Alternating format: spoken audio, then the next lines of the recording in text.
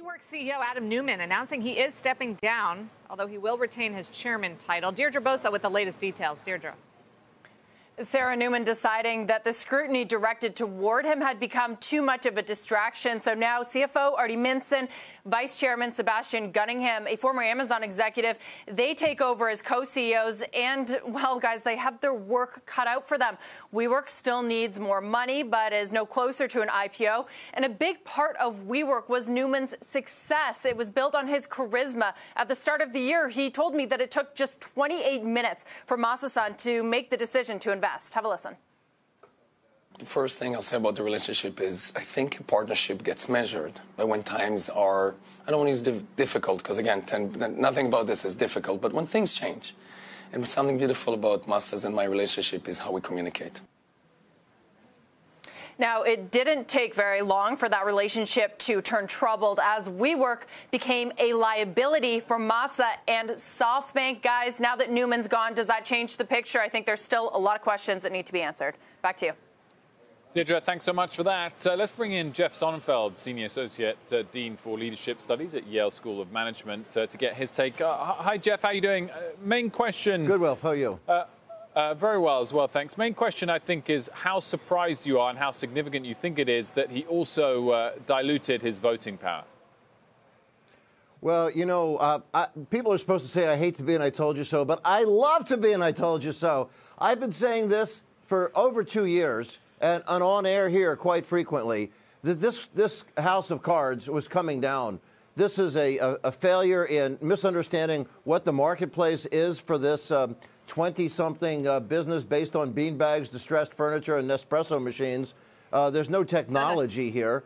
Uh, and, and the governance model is so badly flawed, and the strategy itself. There are people in this business, and we've talked about those players before, that have uh, significant, comfortable businesses. This is not a new business. Uh, Servcorp out of Australia created this exact business 40 years ago, very profitable in 38 cities. And of course, we've talked about IWG, uh, the, the old Regus model, which is in 70 more countries than Adam Neumann's perhaps ever visited, and way more uh, in size and scale than, than, than WeWorks is in terms of their sprawl. Uh, and, and yet, uh, somehow this guy's been treated as some guru genius because he's such an effective self promoter. So, Jeffrey, you know every single CEO on the planet. Who should take this job? I love that question. You know, I, I, know we probably only have a few minutes, but I, would love to take the next half hour until we hear from Nancy Pelosi and what's happening on the next topic of the day because right, we'll they're actually. okay, is uh, they've got very two very good people in there as co-CEOs. These co-CEO models generally fail. There are a couple of examples at, at Oracle and, and, and Bridgewater, a few places where it in fact uh, does work. Uh, in this case, they're there strictly as an interim model. Neither one of these guys has been a CEO before. They've been stabilizers for charismatic types. Who is there out there? Well, somebody who's very close to Masayoshi Son, uh, very close to the SoftBank people, trusted, loved by them who's all dressed up and ready to go pretty soon is John Legere. Yes, you heard it here first. Uh, I think there's some rumors out there that are starting to spread that he's the perfect guy for the job.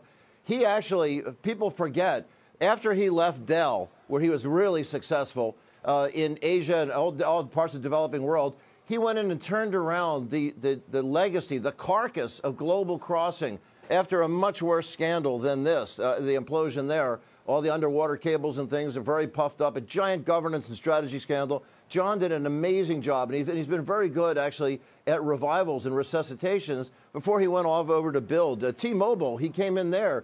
It was a disaster after the AT&T deal had collapsed. John came in, and he built up value that was enormous there that people thought, well, there was an effort for uh, Sprint to buy them, that Masayoshi Son wanted to do that back, I think, in 2013 or so. And, and T-Mobile was so much smaller. T-Mobile dwarfs them now. They've been growing at 40% a year. Glassdoor tops out uh, always. Would he take it, though, Jeffrey? You know, uh, I think he shouldn't, but I think he would. Uh, I, I would have thought he should wait for Elon Musk's job uh, because at least there's a there there. There's a real technology. But John would know how to shape something out of this. Plus, as you've been seeing and reading out to us, that we're looking at perhaps maybe up to a third of the workforce being dismissed pretty soon. They've got 12,000 people, and we're already talking about possibly 4,000 pink slips coming out. John knows how to come into a demoralized culture and really build spirit, build energy. He's been a leader in the diversity front.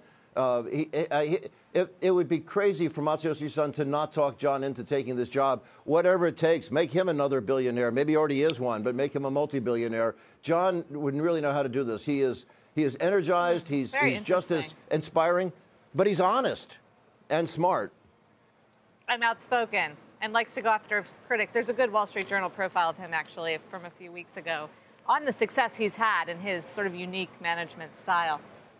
Uh, oh, just quick final question, Jeff, Jeffrey. Where, where do you stand on how much blame falls at the feet of uh, the head of the investment banks that were backing the original version of, of the S1? They sh- you know, there's an old Beatles song. Uh, I think it was uh, the flip side of, uh, of Hard Day's Night that said, I should have known better.